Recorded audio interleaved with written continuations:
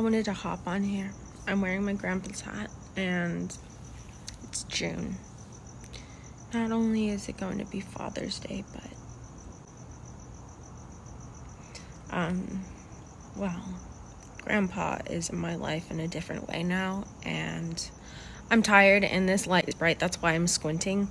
But anyways, I wanted to hop on here and tell you that it is never it is never uh there's always going to be a reality of auto accidents and um, fun days being accidents and turning into losing people you love. So um, I'm grateful that I got out with my life today and I today is June 1st, so I knew that I wanted to pray today, and I hadn't prayed in a while. My grandpa liked church music, so I was singing a song of one of my ex best friends' church music, and guess what? 30 minutes later, I saw her on the fucking freeway.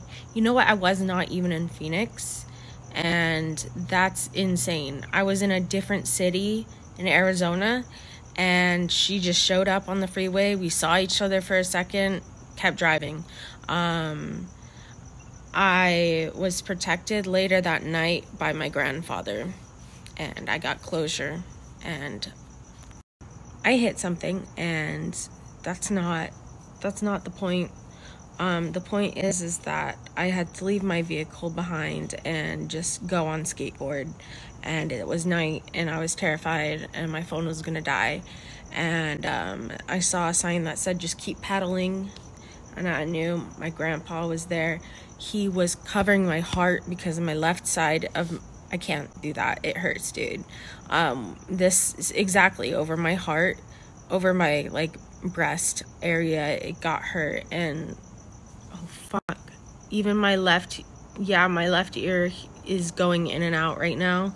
Um, it, it, it is ringing still, but I did go deaf for a sec. I was like, didn't know how long that was gonna last.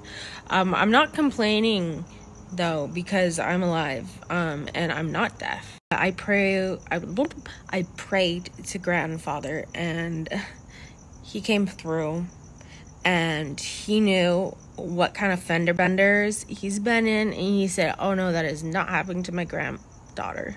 And I really appreciate that out of him and you know what um if you don't believe in um, spirits, then dick off of this video. I don't really want to hear it. It's not the video for that. We can talk about it in a lighthearted way later, but this is about me. I feel like I felt his presence and I'm so grateful. So I didn't realize it until now. Yeah, there is a bruise there.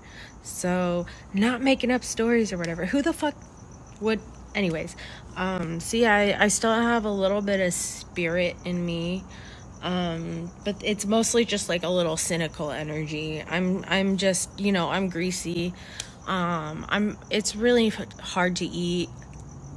I think i might have bit my tongue. Anyways um thanks for hearing me out guys. Um i'm gonna try not to be a bum. And i'm gonna try to go to work and ride that bus I also wanted to add that you'd think somebody punched me in the tit. That's how sore it is. Like I swear, guys, it was literally on my heart where I the impact was um and it just uh it's just the left one. And here's the thing is is that it's almost like thank God it was there because what would happen to my vulnerable heart? I I legitimately am thinking that. Like I don't fucking know. Like thank God I had some cushions. And yeah, airbags too, but other airbags too. okay, I think I need to go to bed, but I can't. I'm still in adrenaline rush and my head hurts. Maybe I should eat, but um talk to y'all later. Bye.